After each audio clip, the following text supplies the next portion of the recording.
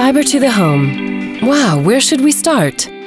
Confused about telecom technologies and acronyms? ADSL, VDSL, XDSL, copper, cable, fiber, broadband, high speed, bandwidth, FTTC, FTTB, FTTH, next generation access? Stop! Actually, it's all very simple, really. All you care about is getting fast internet to send and receive songs, pictures, or videos in an instant. Making cheap phone and video calls with family and friends wherever they are. Working from home as easily as in the office. Watching HD TV programs or catch up TV. Watching videos on demand. Playing online games with friends. Getting an instant online backup of data and sharing it with family and friends, and so on. It's a fact that out of all the technologies and solutions, fiber to the home, FTTH, is the fastest and most reliable way to access the internet. What about other solutions then? Mobile connections are much slower than FTTH, especially when several users are in the same area and sharing the available network.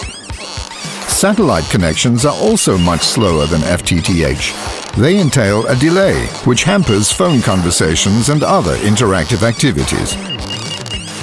Other fixed technologies like ADSL use metal wires, which are about 100 times slower than fiber to connect your home to the Fiber City network.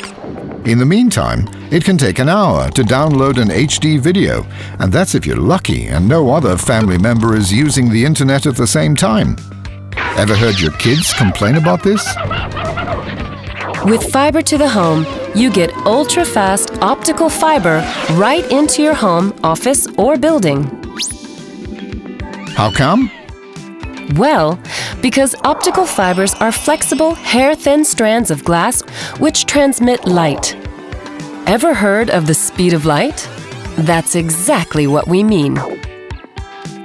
Just imagine, with fiber to the home, you would get the film in minutes even if your kids are on a video call with their grandmother.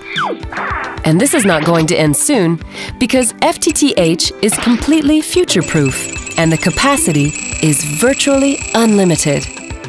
Several million European homes are already enjoying fiber to the home. When are you getting connected?